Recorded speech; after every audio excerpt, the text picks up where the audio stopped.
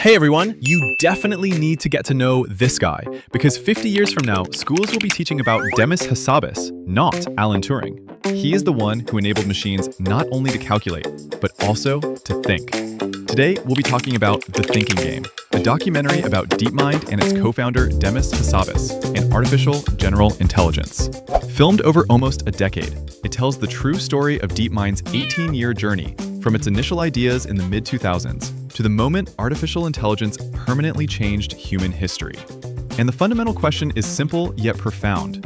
Why is DeepMind one of the most important companies ever created? And why will Demis Hassabis be remembered like Alan Turing 50 years from now? The documentary tells the story of how Hassabis and his team began working on AI at a time when it was still considered strange, unpopular, and even embarrassing to talk about. In other words, it depicts AI before it became mainstream, powerful, and inevitable. Essentially, The Thinking Game is a biography of Demis Hassabis and the origin story of modern AI. However, while watching this film, several important questions popped into my head. Why is one of the founders almost completely absent from the story? What sets DeepMind apart from all other AI companies? And most importantly, what does this story tell us about where AI is headed and what it means for humanity? Let's start with the obvious question. Why is DeepMind so important? Because it is one of the very first companies that seriously attempted to build artificial general intelligence, AGI, long before the term became popular. DeepMind was founded by three people, Demis Hassabis, Shane Legg, and Mustafa Suleyman. Yet in the thinking game, Mustafa Suleyman is almost completely absent. Shane Legg appears, but Suleyman does not. Why? The film never explains it. There are rumors online. Some say they were childhood friends. Some say there is a seven or eight year age gap. Mustafa Suleyman often speaks respectfully about Hassabis, while Hassabis is rumored to have said that Suleyman learned everything from him. These claims come from forums, not verified sources, so take them carefully. But the absence is noticeable. If you know what actually happened between them, that is genuinely interesting and worth discussing. Now, who is Demis Hassabis? To understand DeepMind, you have to understand him. Hassabis grew up in a very unconventional, almost bohemian family. They traveled often. He became a competitive chess player at a very young age and ranked among the best players in London before his teenage years. But even more important than chess was his obsession with how the human mind works. Here is a critical moment. At age 12, Hassabis played a long chess match against a much older Danish champion.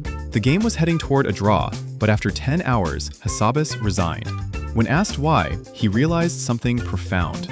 Why am I using my brain to defeat one person across a chessboard? Why not use human intelligence to build something far bigger? That moment changed his direction completely. So what did he do next? He entered the video game industry. In the 1990s, Hassabis worked at Bullfrog Productions, where he helped create Theme Park, one of the most successful simulation games of its time. This matters more than people realize. Games are controlled environments. They have rules, rewards, penalties, strategies. Perfect testbeds for intelligence. Later, Hassabis studied neuroscience at University College London. Why neuroscience? The only way to build real intelligence was to understand the brain itself. This combination of games, systems thinking, and cognitive science became the foundation of DeepMind. In 2007, Hassabis and Shane Legg decided to start DeepMind. In 2010, the company officially launched. Their first major investor was Peter Thiel, known for PayPal and early Facebook investments.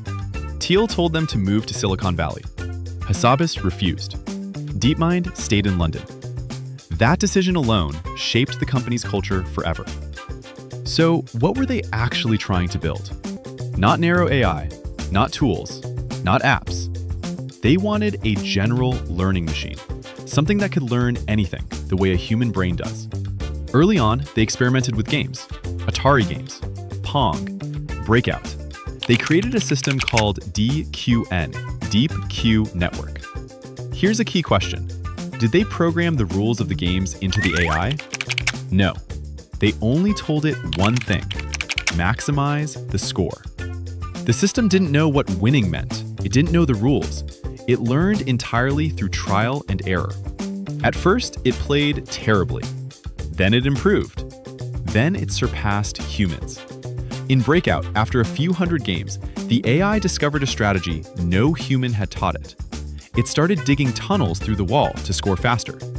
this was not imitation. This was creativity. And that terrified people. In 2014, Google acquired DeepMind for a massive sum, making it one of the largest European tech acquisitions ever. Yet DeepMind stayed independent in structure and remained in London. Eric Schmidt, former Google CEO, became a mentor to Hassabis and described him as a pure problem-solving scientist, not a traditional executive. Then came AlphaGo. Go was considered the most complex board game ever invented. The number of possible moves exceeded the number of atoms in the observable universe. Most experts believed a machine would not defeat the best human players for decades.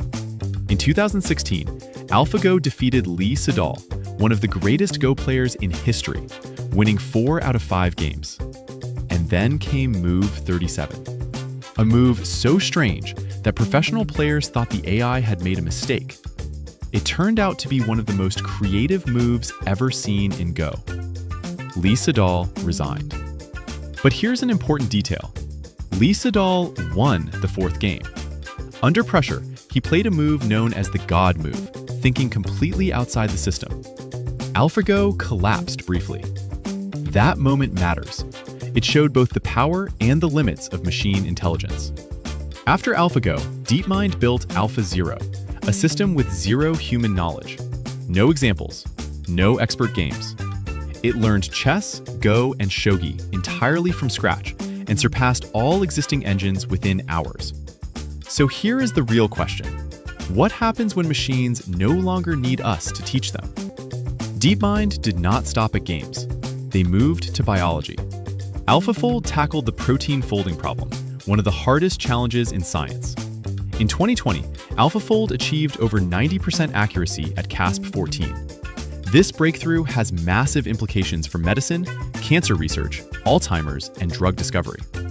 DeepMind made the results publicly available to accelerate global research. But with this power comes danger. The documentary raises uncomfortable questions. What happens when AI systems become more capable than humans? Stuart Russell, a UC Berkeley professor, asks how humanity can retain control over something more intelligent than itself. Stephen Hawking warned that we might only get one chance to do this right. Hassabis argues that technology itself is neutral. People decide how it is used. But others compare AI development to the Manhattan Project.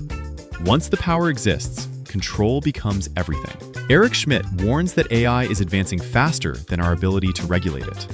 Deepfakes, manipulation, surveillance, military use. These are not future risks. They are present ones. So why does the thinking game matter? Because it shows us that artificial intelligence is not a sudden invention. It is the result of decades of obsession, experimentation, failure, and belief. DeepMind is not just an AI company, it is a historical turning point. Demis Hassabis will be remembered not because he built tools, but because he changed the trajectory of intelligence itself. Just as Alan Turing asked whether machines could think, Hassabis asked whether intelligence could be recreated, scaled, and transformed.